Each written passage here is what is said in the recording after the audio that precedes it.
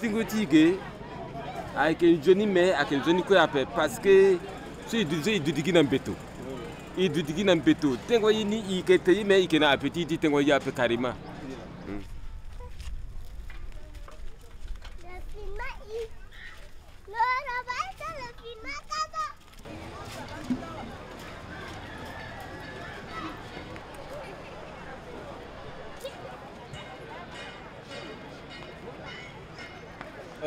Euh, suite au conflit où le PAM intervient en appui, depuis le début des événements au mois de septembre, le PAM était là, le PAM est arrivé où a commencé à donner assistance à ces populations euh, en détresse et nous continuons de leur assister jusqu'à ce que nous trouvions une solution auprès de ces populations.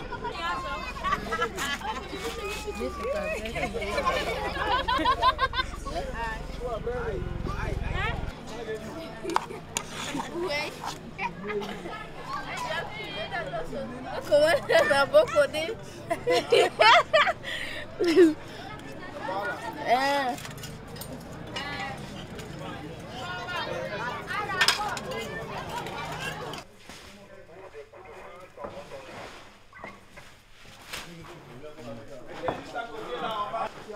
Tournez, tournez comme ça, on fait deux tours.